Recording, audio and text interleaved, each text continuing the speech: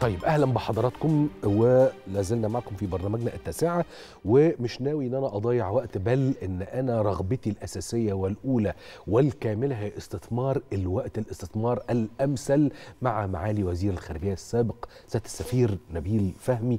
أهلا بحضرتك. واشكرك على الدعوة الكريمة. لا بالعكس ده أنا اللي بشكر حضرتك إنك فرغت لنا جزء من وقتك الثمين وأنا أعلم جيدا يعني آه، حجم وغلاوة هذا الوقت يعني. الله يحفظك. آه، معالي السفير يمكن هبدأ الأول بالمقال الأخير المنشور في الاندبندنس حول آه، مستقبل العلاقات ما بين القارة الأوروبية وما بين منطقة الشرق الأوسط. وأنا أقدر أقول آه، بأريحية شديدة أنا قريته بالظبط ثلاث مرات ثلاث مرات ورا بعض. يعني ما اديتش لنفسي فرصة كل شوية قعدت أعيد القراءة بتاعته. وحتى أنا كنت لسه بقول لحضرتك كنت بتكلم مع أكتر من زميل وصديق ليا قلت لهم أنا ما قريتش هذا الطرح على الإطلاق. شكل العلاقة ما بين أوروبا ومنطقة الشرق الأوسط اللي حضرتك خلصت فيها إنه مش في المستقبل القريب قد نجد آه، تأثير أوروبي على قضايانا الشرق أوسطية. وهنا أنا ه- هسأل حضرتك علشان المشاهد يفهم. ليه؟ ناخدها من بعيد ونقرب. أوكي. المجتمع الدولي بأكمله يتعرض حاليا ويواجه عاصفة مكتملة. مم. الأسس الرئيسية إحنا قطبين قطب واحد عده أقطاب. النظام الأساسي بمؤسساته الأمم المتحدة البنك الدولي صندوق النقد حتى العملة الأساسية الدولار كلها أصبحت محل شك وتساؤلات. ارتباطا بذلك بنجد القارة الأوروبية اللي هي كانت أغلبها غربا وكان في شق شرقا مع الاتحاد السوفيتي. أوروبا حاليا جزء من هذه العاصفة في مرحلة بحث عن الذات. عايزين نبقى يمنيين يساريين ولا حاجة في الوسط؟ وإذا خدنا قضية واحدة بسيطة آه اللي هي إحداث غزة الأخير. أول تصويت في الجمعية العامة أوروبا صوتت أغلبها في اتجاه إسرائيل. صحيح. آه مع استثناءات بسيطة. تاني تصويت اتقسم. ثم وجدنا رئيس وزراء إسبانيا ورئيس وزراء البرتغال هنا مع الرئيس السيسي. وبيعلنوا صراحة إنه اللي بيحصل في غزة ده مخالفة للقانون الدولي ويجب وقف إطلاق النار عكس الكلام اللي في الأول. أوروبا بتبحث عن نفسها عايزة تحدد إحنا هنكون إيه بالظبط. هل شرق أوروبا تبنت الفلسفة اللي هي أوروبا غربية؟ وإن- وانما بس انضمت كشريك وهتبعد بعضيها عن بعض الدول عن بعضيها. واقع الأمر إن بعض الدول شرق أوروبا أصبحت غربية أكثر من الغرب والبعض الآخر زي متمسك بالمواقف ال- ال- ال- لها توجه شرقي. إنما حتى داخل أوروبا الغربية القديم زمان كان الحديث ألمانيا وفرنسا يعني هم اللي بيقودوا أوروبا وإنجلترا قبل قبل بريكسيت طبعا. كان ليها ليها دور. ما فيش النهارده زعيم أوروبي له الرياده فهي بأمانة بحث عن الذات بدون زعيم لا تستطيع الانعزال عن الشرق الأوسط نتيجة الجغرافيا. قريبين. آه مصالحهم قريبة معانا. مشاكلنا قريبة معاهم. لو حصل تهجير حتما هيؤدي إلى أثر مم. في أوروبا. في تطرف حتما هيؤدي إلى أثر في أوروبا. آه والعكس أيضا. النهارده الدول الأوروبية اللي كانت آه مثالية في التعامل مع حقوق الإنسان ورعاية ال- ال- المشاكل الإنسانية زي السويد. آه الشمال الأوروبي. آه، أصبحت النهارده دولة متشددة ضد ضد اللاجئين. والمهاجرين. بيبحثوا عن الذات أنا أجي النهارده هعتمد عليهم إزاي؟ أنا بعتمد على حد يقف معايا في الأزمة مش يقف معايا في الظرف البسيط والحلو. هم النهارده وخاصة كمان أضيف إلى إلى بحث عن الذات الشق الشق الآخر. حادث يوكرين. خلق أزمة أوروبية ودفع الأوروبيين مرة أخرى إلى ال- ال- الخضوع والنزول تحت الغطاء الأمني الأمريكي. آه ف أوروبا لسه لها فيها عقد من الزمن قبل ما نقدر نقول التوجه الأوروبي كذا والتوجه الآسيوي كذا والتوجه الأمريكي كذا لسه. آه ولازم نشوف جيل جديد من القيادات السياسية الأوروبية. هل أقدر أقول إن هناك صعود لما يمكن أن يسمى بالأصوات القومية أو النعرات القومية؟ صعود يميني في أوروبا. في طبعا في. ما هو لما يواجهوا ما هم كانوا عايشين في حلم أوروبي. يعني مشروع تعاوني صناعي واقتصادي لأوروبا الغربيه هنبني المستقبل مع بعض وكان مشروع ماشي. لما واجه أزمة أو اكشلي عشان أعدل الكلام لما لما انتصر. بداية الأزمة جت من إيه؟ لما شرق أوروبا انضمت لغرب أوروبا. مم. فأصبح في خليط. صحيح. ووضعية مختلفه آه وبعدين لقينا في مشاكل ولاجئين. أساسا المشاكل الاقتصادية في أفريقيا بدأوا ال- ال- ال- اللاجئين يتجهوا غربا بحثا عن العمل. ثم حصل أفغانستان ثم حصل سوريا. آه شرق أوروبا نفسهم كتير من الدول الأفقر مواطنيها هجروا اتجاه الغرب صحيح آه، فده خلق أزمة أزمة في الهوية وأنا بقول الكلمة دي ليه؟ لو بصيت لألمانيا من أغنى دول أوروبا مم.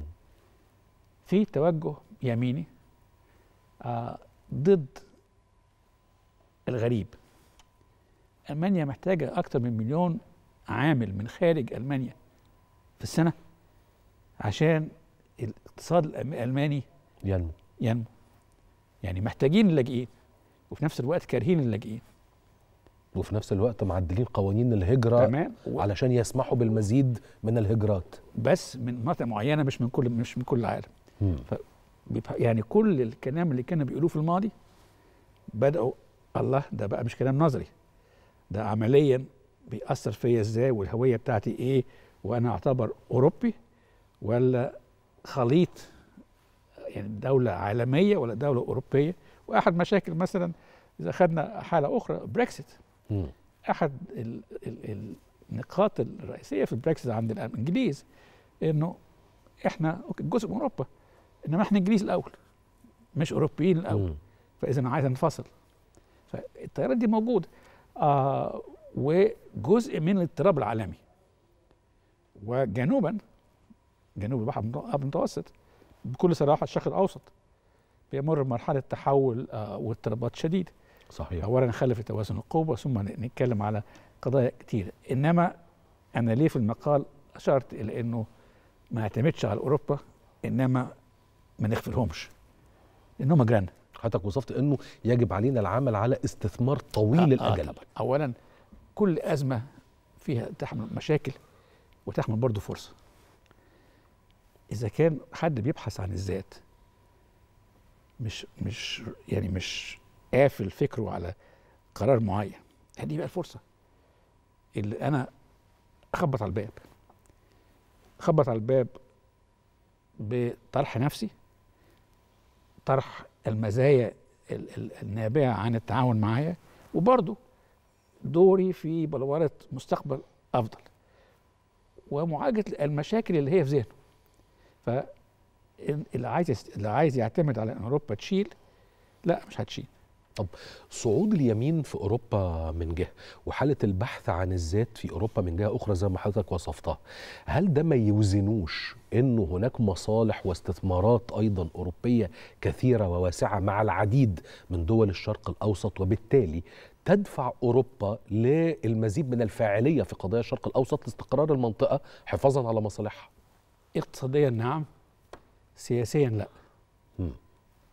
المادة هتحكم القرار الاقتصادي الأوروبي وبدون الدخول في أسماء دول منعا للحساسية. طبعا. بكل صراحة ليا أنا تجارب ومصر ليها تجارب مع دول كانت بتنتقدنا بشدة. أول لما لقوا إن في مشروعات ممكن يعني يربحوا منها كانوا من أكثر الدول حصلت تهدئة للنبرة أو يعني حطوا النبرة ك خليها على جنب تاني. دلوقتي آه، آه. آه. وأنا أنا ما بعيبش عليهم ذلك لأن إحنا كنا أصلا بنقول لهم يا جماعة عايزين نحسن كل شيء إنما بس إيه كل حاجة بأسلوبها وأنا أحب إن المصري ينتقد المصري ويحسن المصري. ما أحبش أسمعها من من الاوروبي من أو من أي جهة أخرى. من أي حد لأنه كمان برضو ما هو لو خدنا مرة أخرى الحاله بتاعت غاز فين العالم الغربي ده اللي كان قاعد بيطرح لي قانون حقوق الإنسان وأنا مؤيد لحقوق الإنسان. والقانون الدولي وأنا مؤيد للقانون الدولي. اختفى فين كل ده في غزة؟ هو القانون الدولي بينطبق بس على ال- العدو ولا بينطبق أيضا على الصديق بالنسبة لهم هم يعني؟ ما يقدرش يجي يقول لي النهارده في قانون اتف- اتفاقيه جنيف الرابعه آه. نص صريح. لا يجوز ال- ال- الاعتداء على أي مصح أو مستشفى تحت أي ظرف من الظروف يعني اللي شفناه ده ما فيش أي مجال لل يعني أنا النهارده استغربت جدا كنت بتابع التحقيق اللي حصل مع ديفيد كاميرون في مجلس العموم البريطاني من لجنة الشؤون الخارجية لمنطقة الشرق الأوسط وشمال إفريقيا فلما سئل عن إنه هل يرى إنه ما يحدث في فلسطين هو شكل من أشكال الإبادة الجماعية؟ قال لا. طب هل ترى إنه الجانب الإسرائيلي آه، آه، يخرق القانون الدولي الإنساني؟ قال لهم لا. فأنا استغربت جدا لأ إزاي؟ في حين إنه أغلب دول العالم بتقول العكس. ليه انجلت... ليه إنجلترا بالتحديد لو أنا حبيت إن أنا أفصلها في قرارها عن الاتحاد الأوروبي ليه انجلترا بالتحديد واخدة هذا الاتجاه كل ما اقتربت من أمريكا كل ما هتلاقي الموقف أقرب لتجاهل مخالفات إسرائيل وطرح حجج بيها وهضيف لك مثال آخر زي اللي أنت قلته بالظبط ال- آه، متحدث آه، للاتحاد للاتحاد الأوروبي للجنة الأوروبية. في برنامج في التلفزيون أنا شفته. الصحفي بيسأله بيقول له اللي حصل في غزة من إسرائيل لمخالفه القانون الدولي. آسف بيقول له آه، وجر رجله. اللي حصل من روسيا في أوكرانيا ده مخالفه القانون الدولي ضربوا المحطات وعملوا قال له آه طبعا مخالفه قال له طيب اللي حصل في غزة لما إسرائيل ضربت محطات الطاقة وكذا. مخالفه القانون قال له لا. قال له طب إزاي يعني؟ ما يعرفش يرد يعني تناقض واضح مرتبط ب آه، آه، توازن قوة و ال ال ال ال التوازن السياسي داخل البلد. التوازن السياسي داخل البلد لا يزال في الغرب على الأقل لا يزال مؤيد لإسرائيل أكثر من الجانب العربي والف- والفلسطيني إنما في تحول. ليس ليس كافيا. وما يعتمدش على إن التحول ده هيشيل عبء ال- ال- القضية. آه إنما في تحول وخصوصا من الشباب.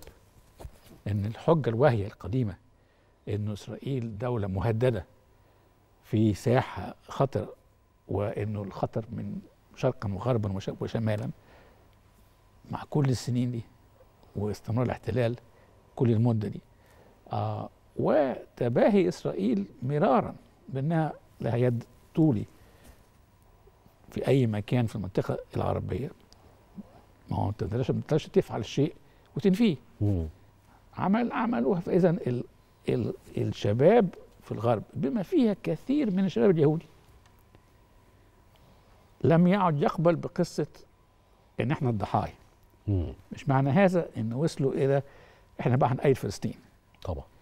إنما إسرائيل بأمانة لم يعد يقبل السردية القديمة لا و وحتى الأمريكان الامريكان لا زالوا بيلعبوا على الكارت الإسرائيلي خارجيا وداخليا في الانتخابات إنما أنا أقدر أقول لك إنه الرئيس بايدن هيواجه مشاكل حقيقية في الانتخابات اللي جاية لاعتبارات كثيرة واخد بالك. إنما من ضمنها لأول مرة إنه خسر اليسار في الحزب آه. الديمقراطي وبما فيها العرب الأمريكان في ولايات محددة بتؤثر على ما يسمى الالكتورال كولج. زي ولاية ميشيغان وغيرها. الولاية دي بالتحديد كسبها ترامب لما انتخب. صحيح.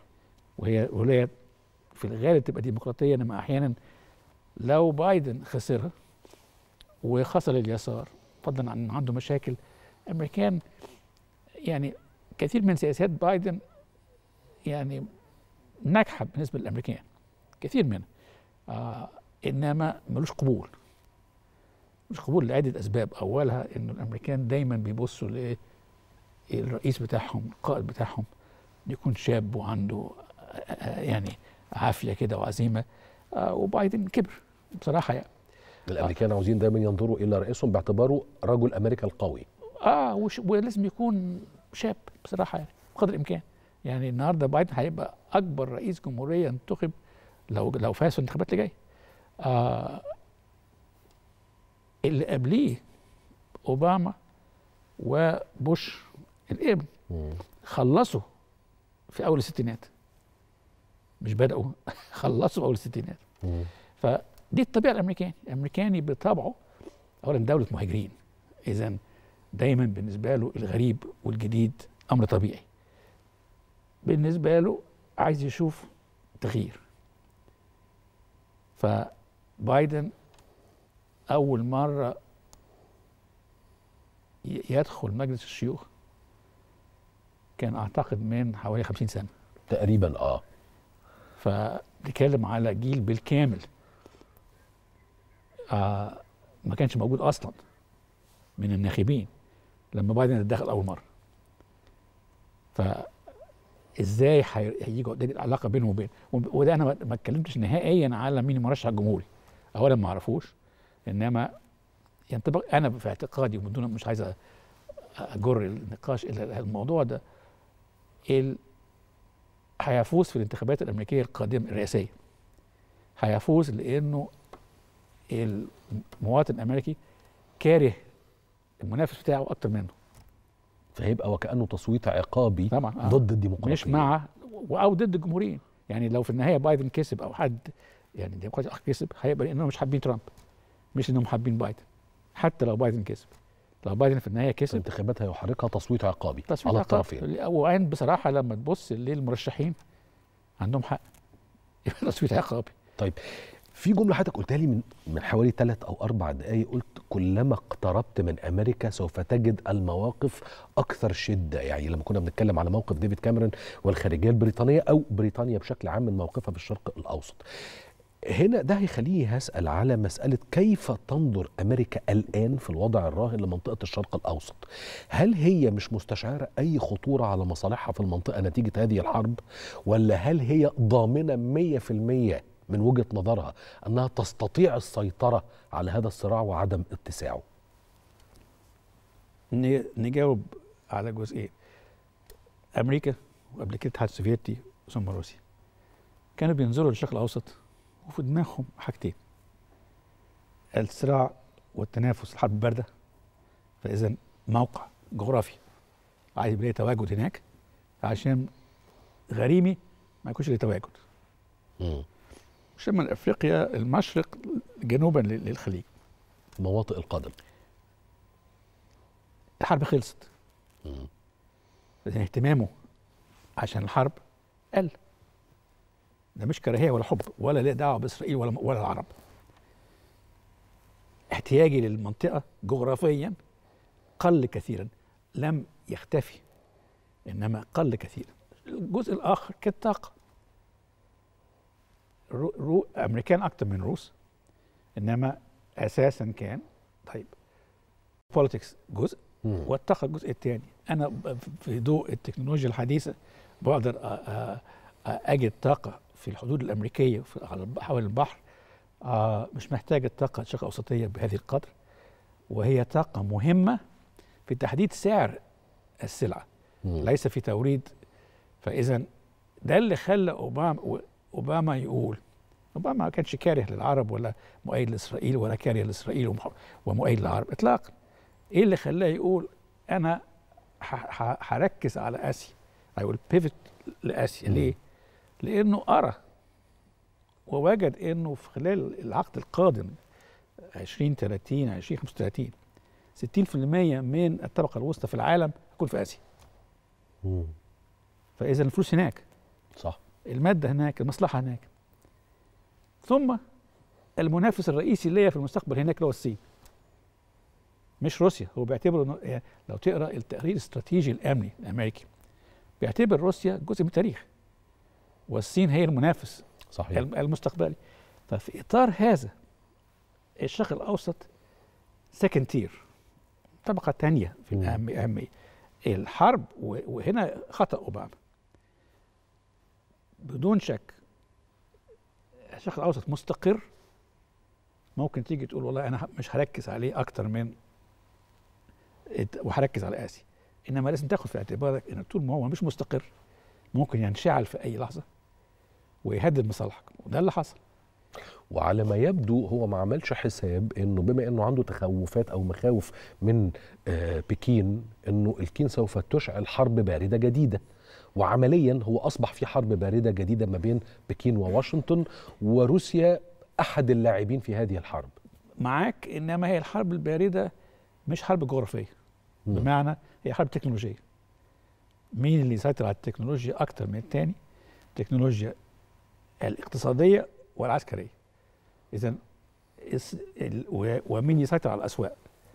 السيطره على الأسواق فيها جزء إنتاجي وتوزيع و و و وتسويق وإلى آخره وحتما لها التواجد لازم تكون متواجد حتميا إنما الصين ما بتحاولش يبقى ليها قواعد بنفس المعدلات اللي كانت موجودة روسيا ولا امريكيا. التنازع بين التنازع الأمني مش اقتصادي مم. بين الصين وأمريكا في آسيا. مم. وفي التكنولوجيا. جغرافيا في آسيا مش هينافسوهم في, في أوروبا. هينافسوهم في أوروبا تكنولوجيا وأمريكا ضغط على الدول الأوروبية ما تشتريش التكنولوجيا الصينية خاصة في مجال الاتصالات. ونفس الشيء ضغطوا على دول كثير بما فيهم إحنا آه عشان ما نستوردش من الصين حاليا احتياجها من الشرق الأوسط من المشرق آسف من من الخليج بتروليا وطاقه من بقية الشرق الأوسط وأفريقيا ما يسمى بال ال-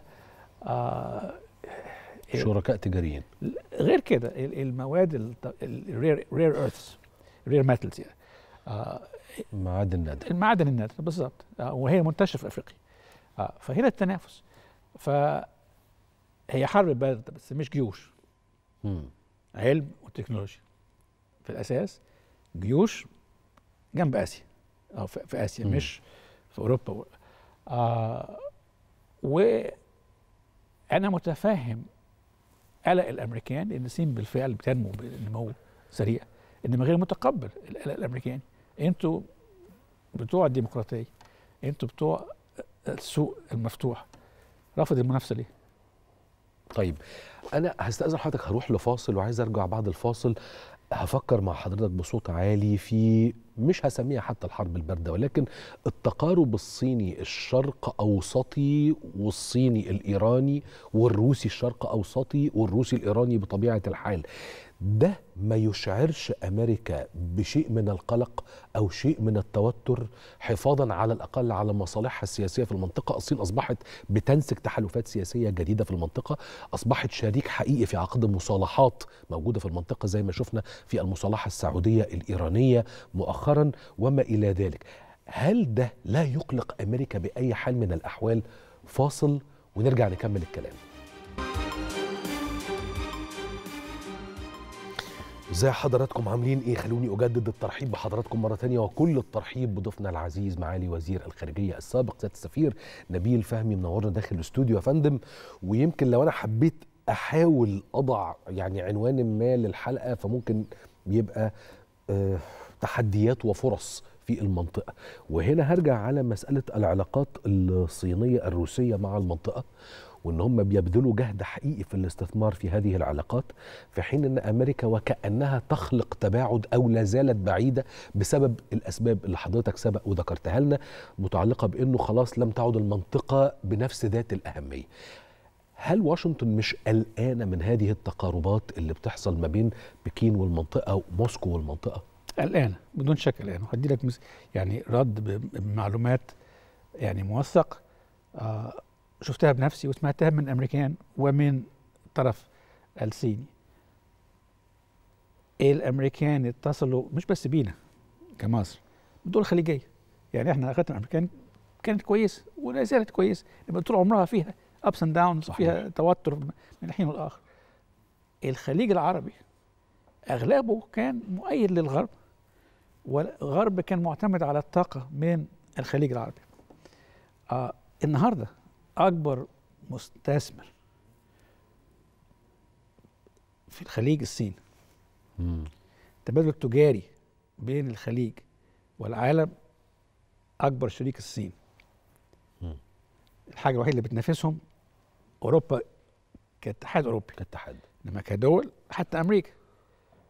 مرة واحدة ال- الدول اللي هي كانت علاقة يعني قوية جدا مع, أمريكا امنيا واقتصاديا و آه، يعني ال- الغطاء الأمني الأمريكي كان هو اللي بيحمي ال- الخليج في مرحلة ما.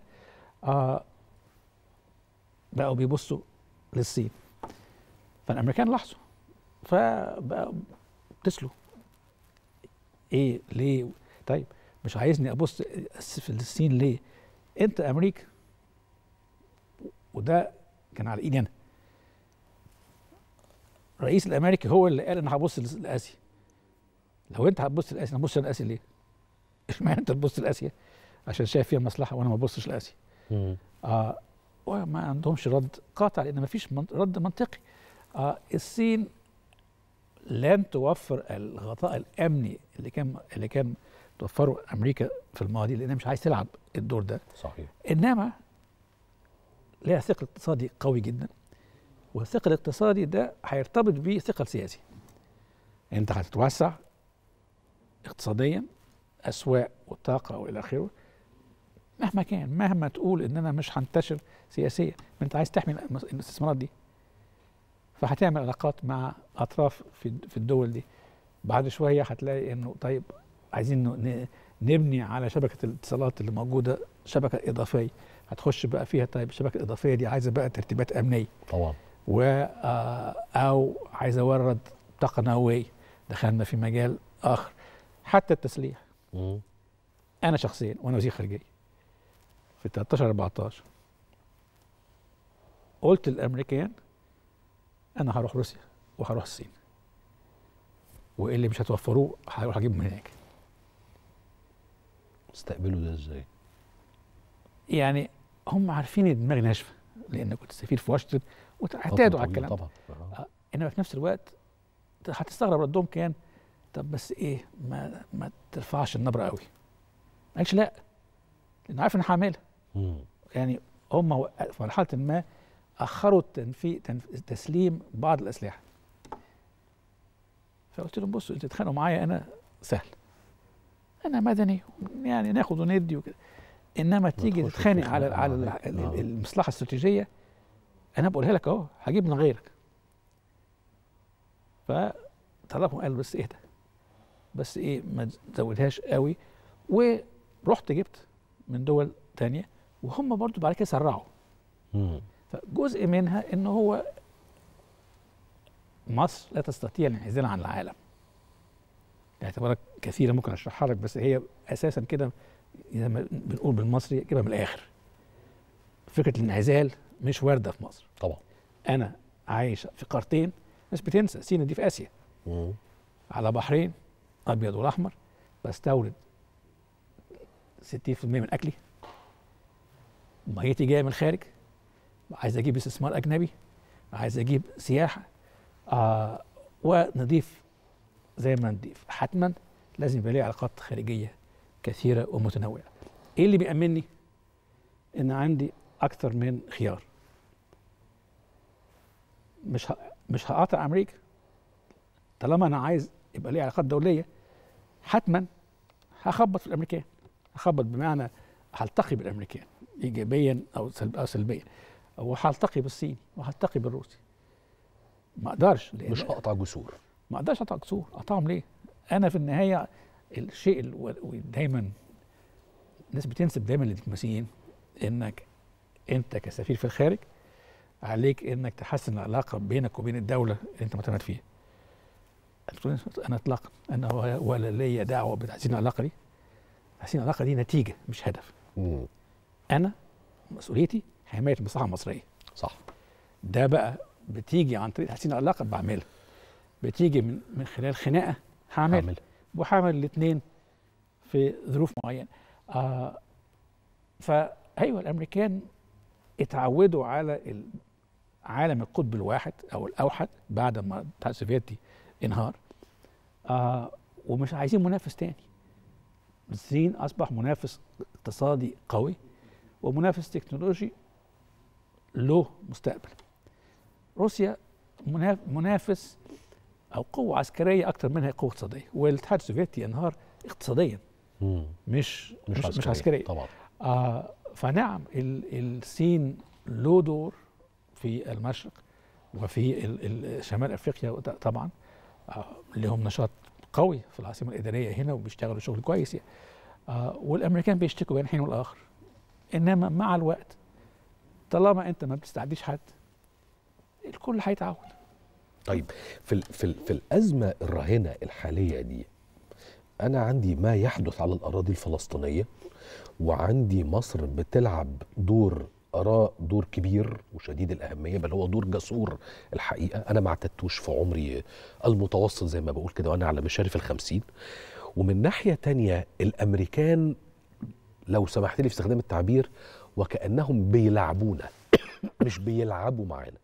يعني مش في قلب اللعبة قاعدين بيلعبونا. من أحيانا نسمع مجموعة من التصريحات الرائعة على لسان جو بايدن أو أنتوني بلينكن وأحيانا نسمع من نفس الشخصين تصريحات عكسية. إيه اللي عايزاه أمريكا في الأزمة الحالية؟ وعايزة إيه من مصر؟ عايزة تتجنب التصعيد خارج غزة إلى المناطق المجاورة. ده أول شيء. أول يعني في تقديري أنا وأنا لم ألتقي ببلينكن خلال الجولة الحالية هو لسه ما جاش مصر لغاية النهارده. آه. وانما مش هلتقي بيه طبعا ماليش دور في, في ذلك. إنما قراءتي لل- لل- للوضع الامريكاني هو مش عارف يوقف إسرائيل أو مش عايز يوقف إسرائيل. مم. مش عايز يقف يا مش عارف يا مش عايز. هو في الغالب كان مش عايز ودلوقتي مش ما عارف بقاش عارف. إنما مش مرتاح للتصعيد غير اللازم على الحدود. يبقى إسرائيل وغزة هي مشكلة هنفتح بقى كمان إسرائيل ولبنان مم. إسرائيل وسوريا هن هنجر بقى كمان إيران في الأسطوانة. دي مم. وندخل بقى اليمن والبحر الأحمر وباب المندب وكل هذا الكلام كل ده في آن واحد هم مش عايزين دي آه ولذلك تقديري إنه يعني بأمانة كده أنا اشتغلت في العمل الدبلوماسي 35 سنة. عمري ما شفت حرب تمتد أربع أشهر إلا أسبوعين. وفي رفض واطلاق النار أي حرب بتقوم بعد ثلاث أيام يبتدوا الناس يتكلموا على اطلاق النار ويتحقق بعد أسبوع أسبوعين ثلاثة بقى لنا ثلاث أشهر وكاسر وأمريكا لسه رافضة وقف النار إزاي يعني؟ فهم حتى الآن مش راضيين يوقفوا إسرائيل. إنما التحذير اللي مطروح حاليا ما توسعوش أكتر من اللازم. إسرائيل بتصعد بشكل محكوم. إزاي؟ أنا عايز أصعد عشان أقول لأمريكا أنا في خطر. فهضرب حد من حماس هضرب حد من حزب الله. هعمل تفجير في إيران.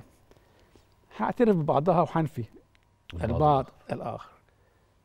من ناحية بالإجراءات دي كلها بثبت للمواطن الإسرائيلي إن أنا قوي ولازم يبقى عندك ثقة فيا وما تأثرش بإن بقيت ثلاث أشهر مش عارف أخلص على حماس يعني اللي حصل في- مم. في غزة تدمير بشع.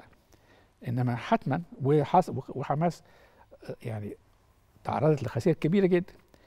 إنما ال- الهدف الإسرائيلي ان أنا هقضي عليهم ما تحققش فالمواطن الإسرائيلي اللي كان متصور إن هو قوة هائلة. وجد إنه الله ده بقالنا بنحارب ثلاث أشهر ونص وما ما خلصناش على ال- الخطر اللي علينا اللي هو تجاوز أصلا حائط إلكتروني وإجراءات قبة حديدية. آه بح- بحاجات بسيطة. فعشان يعيد الثقة لدى الجانب الإسرائيلي المواطن الإسرائيلي فضلا عن احترامات داخلية خاصة نتنياهو آه بيعمل تصعيد ده. وعشان يفهم الأمريكان لا إحنا في خطر ما تبعدوش قوي. فعندك اسرائيل بتزق كده شوية تصعيد شوية الأمريكان ماشيين معاهم بس إيه ما تزقوش قوي لأنه فيما يسمى ضباب الحرب fog of war ما تقدرش تبقى عندك خمس معارك ومتصور إنها كلها هتمشي بالظبط. الفعل ورد الفعل المحكوم. والأمريكان خاصة مع بداية حملة انتخابية. مش عايز يخش في حرب تانية. ده هو لسه طالع من أفغانستان. وفي مشاكل لسه لسه في العراق. طبعا. عنده تواجد في سوريا. ما عندوش رغبة نهائيا. إنه يخش في حرب تانية زائد إنه وضعه في المنطقة آه اتهز يعني نديك مثال بسيط جدا أمريكا لسه مهمة ودول المنطقة بتستقبلها عشان بس واضحين يعني. إنما عمر ما حصل في التاريخ ان رئيس امريكي جه من أمريكا لغاية المنطقة ومدعو يقابل ثلاث رؤساء عرب يرفضوا. ويتلغوا المقابلة يلغوا المقابلة هم اللي لغوا المقابلة. بعد ما جه. بعد ما وصل المنطقة رفضوا مقابلته. ليه؟ ففضل في تل ابيب ليه؟ لأنه حضر مجلس وزراء الحرب. يعني أنت روح هتقول إنك أنت مؤيد إسرائيل هنشتكي. إنما تحضر مجلس وزراء حرب أو مجلس حرب وهتجيلي من مجلس الحرب. وبعدين هتقوم ال- هتقوم العمليات وأنا هتحمل إن أنا بستقبلك. وانت بتبني الحرب والواقع إنه تبنى الحرب هو. عمل ليبلنج لنفسه تمام، بان تمام، هو تمام. جزء من إدارة هذه الحرب بدأوا بقى لما لقوا إن في يعني يعني هي ف- فجاجة التصرف الإسرائيلي وعدم إنسانية التصرفات قالوا لأ يعني تجاوزات أكتر من اللازم آلاف الفلسطينيين بيموتوا بنطلب من الإسرائيليين يعني يعني يلموا العدة شوية بس ما خدوش الإجراءات الملائمة لذلك في قانون أمريكي بيمنع تصدير السلاح الأمريكي إذا استخدم ضد المدنيين. مم. ده قانون آه. والكلام ده سمعناه منهم كثيرا يعني. طيب إيه اللي, بي... اللي بيعمله إسرائيل ده إيه؟ أنا كنت على برنامج تلفزيون غربي. فالمذيعة بتقول لي والله آه أنت بتقول إن في إبادة جماعية. لأ ده ده, ده يعني هم بيستهدفوا أهداف محددة. targeted killing قلت لها والله لو كان كلامك ده مظبوط يبقى هم بيستهدفوا الفلسطينيين إن مات 21 ألف واحد. مم. فهم مش يعني الهدف إيه؟ لو الهدف مدنيين تبقى جريمة لو الهدف مش مدنيين وقتلوهم تبقى جريمة برضه. فما ردتش. إنما آه في تفاوت بسيط مش كافي. بين الموقف الأمريكي والموقف الإسرائيلي. الخطوة الثانية اللي هتركز عليها أمريكا طيب إسرائيل تغير طريقة العمليات العسكرية. ده اللي كان بيتكلم فيه بلينكن. آه بلاش الطيارات بلاش القصف البعيد خلي في تواجد.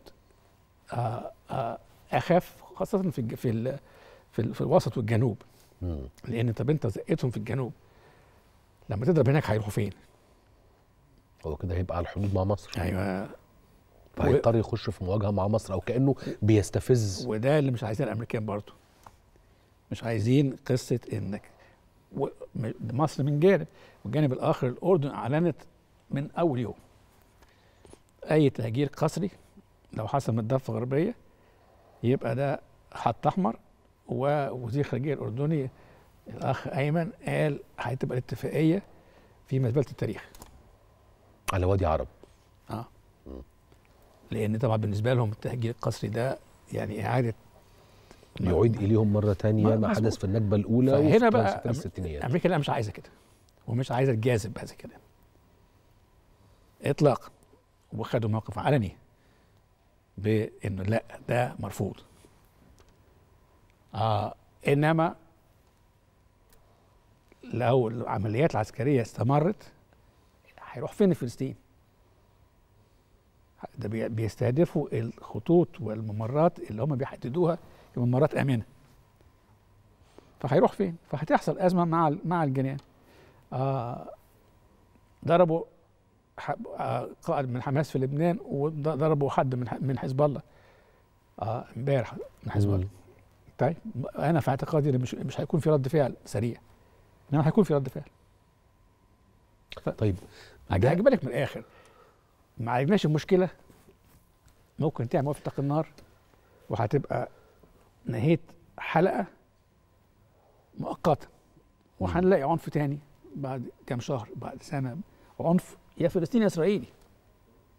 لازم تحل المشكلة مش تعالج الأعراض للمشكلة تعالج المرض. المرض هو احتلال. بدون ما تعالج تربط بين الأزمة والحل كل اللي بتعمله انك طيب نطفي المطافي هنا وكل واحد ينام على جنبه شوية وبعد ست أشهر ولا سنة لما الناس مش واخدة بالها ما هو هننسى أحداث الخليل. مم. دخلوا في الجامع قتل 25 واحد. صحيح. بيصلوا بيصلوا واللي قتلوا الرابين إسرائيلي مش مش مش فلسطين. صحيح. بعد اتفاق اوسلو 93 طيب ده ده ده هيخليني يا فندم هتساءل إذا إنه أمريكا لا تريد اتساع رقعة الصراع أكثر مما يجب وإذا كان عندها تخوفات من إنه إسرائيل قد تستفز مصر للدخول على خط المواجهة لأنه لو مصر دخلت اشتعلت المنطقة بالكامل وهتبقى كارثة. مش بس تهديد مصالح هتبقى كارثة للكل بما فيها القارة الأوروبية. تمام تمام. إذا لماذا تستخدم أمريكا حق الفيتو دائما وأبدا حتى الاجتماع الأخير لعدم تمرير قرار وقف إطلاق النيران؟ وقف إطلاق النيران وارد جدا أنه يبقى مشروط يعني وما يبقاش طويل يعني نقول إن إحنا هنقر هدنة مدتها أسبوعين. في هذه الأسابيع أو في هذه الأيام الخمسة عشر نستطيع إن إحنا نحط خطوط ولو يعني آه، بسيطة مش هقول حتى خطوط عريضة بعض النقاط ونبدأ نضع زي مسار أو خارطة ما للعمل. بص.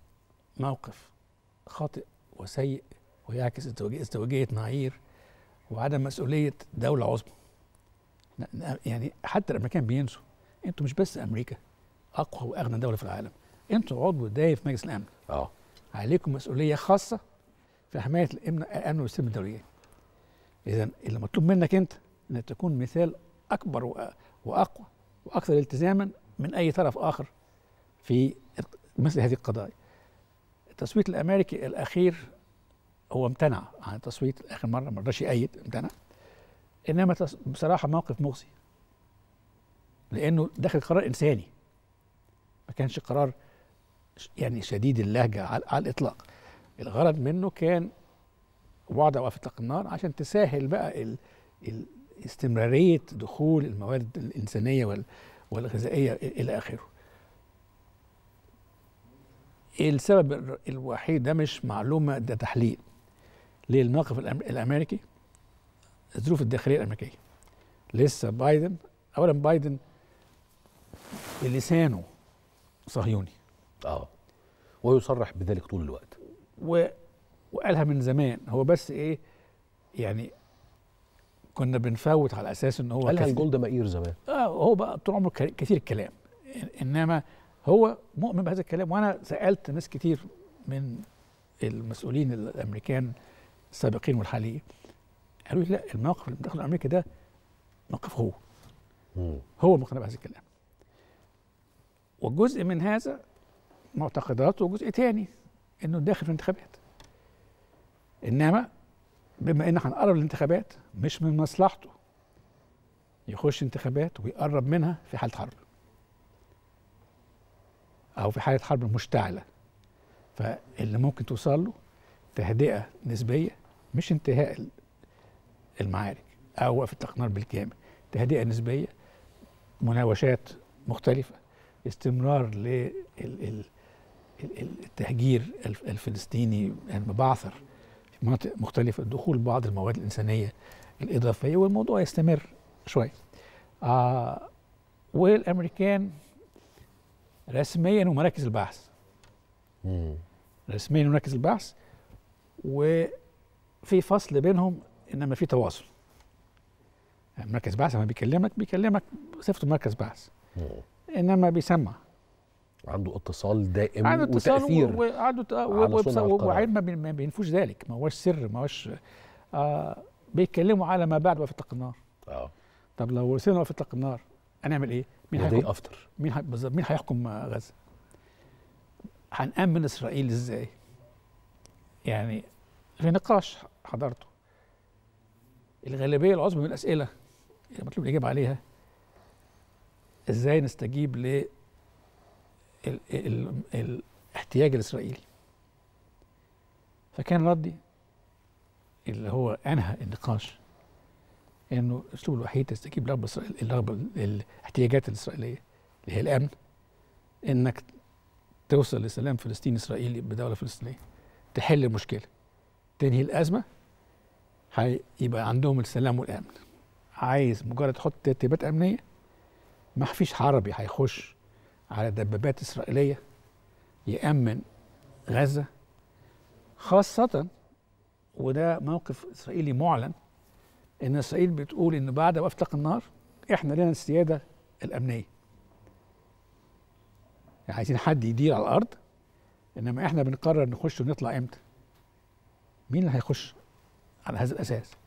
لو كده ما بقتش دولتين يعني حاول تتصور مثلا إيه بين لأن ده تصور نظري ومضحك الحقيقة. إنما بيطرح. يعني نظري ومضحك وبيطرح. وبيطرح من مسؤولين بعض الغربيين يقول لك والله طب مين الدول عندها سلام مع إسرائيل؟ أولهم إحنا. وبعدين الأردن. وبعدين الدول اللي هي عملت اتفاقات ال- ال- ال- الإبراهيمية. الإبراهيمية. ف واحد فيهم سألني. قلت له يعني هو ده سؤال. إيه طب إيه إيه التحفظ بتاعك؟ التحفظ سهل جدا. عايزني أنا أخش أأمن غزة بعد الدبابات ال- الإسرائيلية. ولما تقوم مشكلة أضرب فيكم أنتوا الاتنين. مم. يعني أنا مش هضرب في فلسطين. أكيد. وعايز أضرب فيك؟ يعني عايزني في النهاية عايز نخش على خط مواجهه أخش معاك. بقى مواجهة معاك. بص لي كده باستغراب.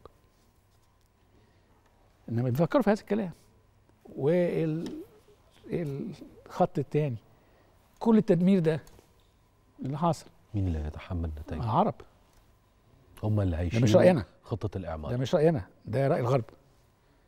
إنما أنتوا طبعا. و- ورد فعل واحد صديق عربي. كان أنتوا فاكريننا مكنة اي تي ام. مكنة صرف. هنصرف. عشان اسرائيل تهد تهدد تاني. إحنا هنصرف. لما يبقى في عندي ضمانة كاملة. وعشان عشان المواطن الفلسطيني انما مش هصرف عشان خاطر تهدها تاني. مم. فعشان تشجعني إن أنا أساعد أخي الفلسطيني لازم يبقى في استقرار في المنطقة. وعشان كده أنا برجع تاني. النزاع بقاله 70 سنة. مم. عدد المرات اللي فيه عمليات عسكرية أو عنف ما تعدش على على على الإيد الواحدة أو الإيدين يعني حاجة غير معقول. ويبقى يعني من السذاجه التصور إنك لو عملنا وقفه النار دون حل المشكلة إن مش مش هينفجر تاني. ال 20 21 ألف فلسطيني اللي ماتوا دول 70% منهم سيدات وأطفال. ما فيش أهل أي واحد من دول من الظلم وال وال والغضب وال ال- ال- اللي عنده مش هيلجأ إنه يحاول ياخد حقه بدراعه. والجانب الاسرائيلي حاليا. مش في مش في غزة في في الضفه الغربيه العمليات ال- ال- القتل الإسرائيلي للفلسطينيين في الضفه الغربية. أكتر من قبل 7 أكتوبر. آه. رغم إن القصة هنا مش هناك. وده من إيه؟ المستوطنين ضد ضد الأبرياء الفلسطينيين وبيحميهم الجيش الإسرائيلي. الجيش الإسرائيلي. غير إنه اعتقلوا أكثر من 4000 واحد. أكثر من اللي أفرجوا عنهم في في في غزه أنا فاضل لي يمكن دقيقة واحدة ويمكن في الدقيقة دي مش عارف أنا هحاول أبقى مستثمر شاطر يعني. في الدقيقة دي هحاول أفهم هذه الجولة من الصراع على الأقل الصراع العسكري من المتوقع أنها تستمر لحد إمتى؟ يعني زي ما بيقول الاسرائيليين نحن مستمرين حتى نهاية العام 2024 ولا ما يقدرش يكمل طول المدة دي؟ على النمط الحالي لا. لاعتبارات عديدة. اولا بلاش ترتيب انما اعتبارات عديده اولا الاقتصاد الإسرائيلي م- الجيش الإسرائيلي مبني على الاحتياط. مم.